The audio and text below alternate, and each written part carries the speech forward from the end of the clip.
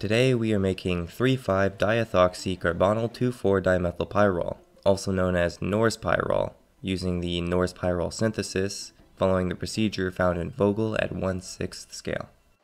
This synthesis requires 16.7 grams of zinc powder, 8.7 grams of sodium nitrite, 75 milliliters of glacial acetic acid, and 32.5 grams of ethyl acetoacetate.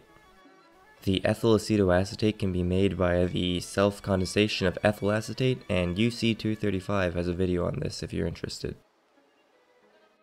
The ethyl acetoacetate and glacial acetic acid were added to a 250 ml flask and put into an ice bath.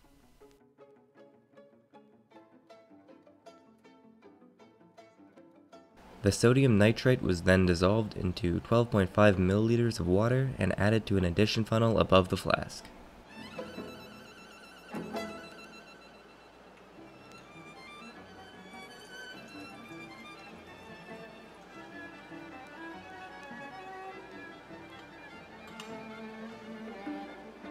The sodium nitrite solution was slowly dripped into the flask, and this reaction is highly exothermic and must be kept between 5 and 7 degrees Celsius.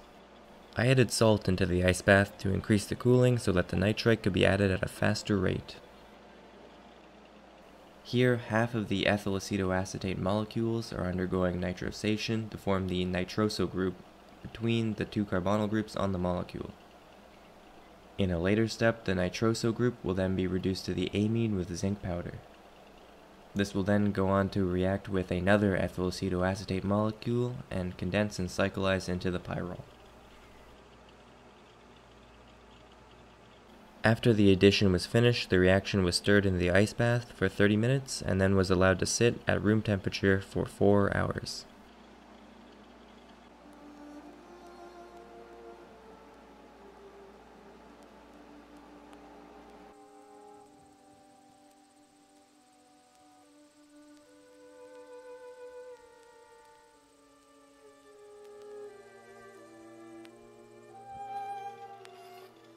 The addition funnel was switched out for a condenser, and zinc was added to the flask in small portions until the mix began boiling.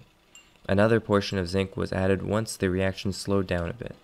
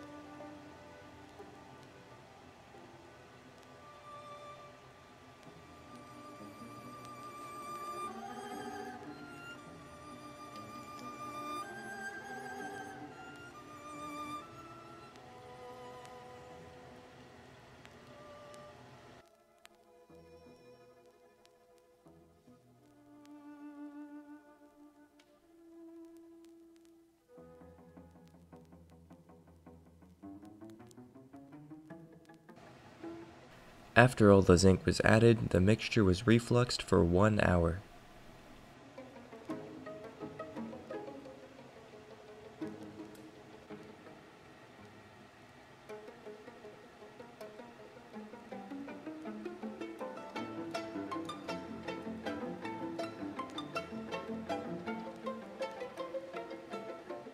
The still hot mixture was quenched in 850 milliliters of water, and the flask was washed out with acetic acid which was also added to the water, and then it was allowed to sit overnight.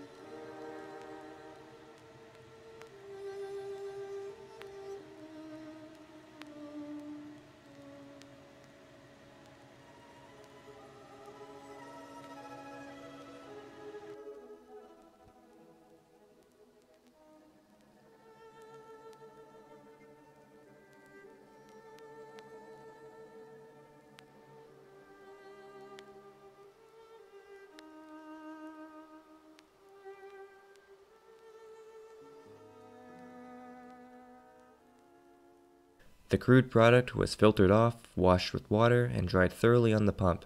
It ended up weighing 34.1 grams, which was far above theoretical, so it must be recrystallized from ethanol to clean it up.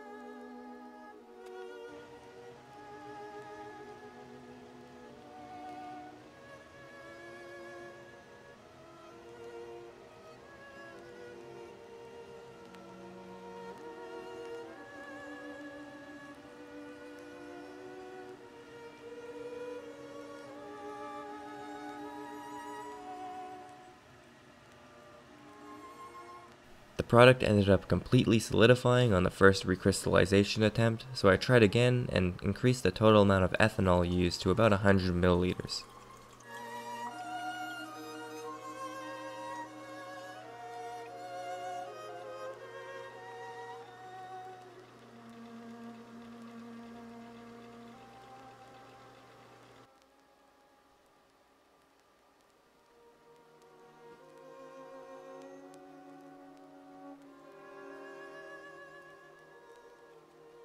The product was then filtered, washed with some cold ethanol, and dried on the pump.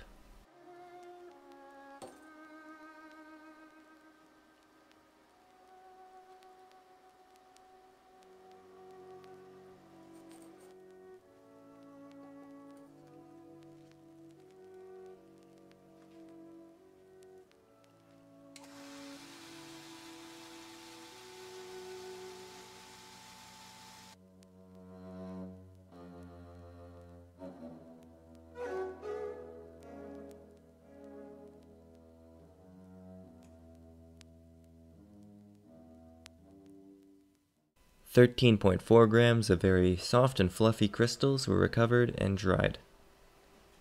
I left the filtrate in the freezer and recovered an additional 1 gram of product. This brought the total yield up to 48.5%, close to Vogel's 51% after recrystallization.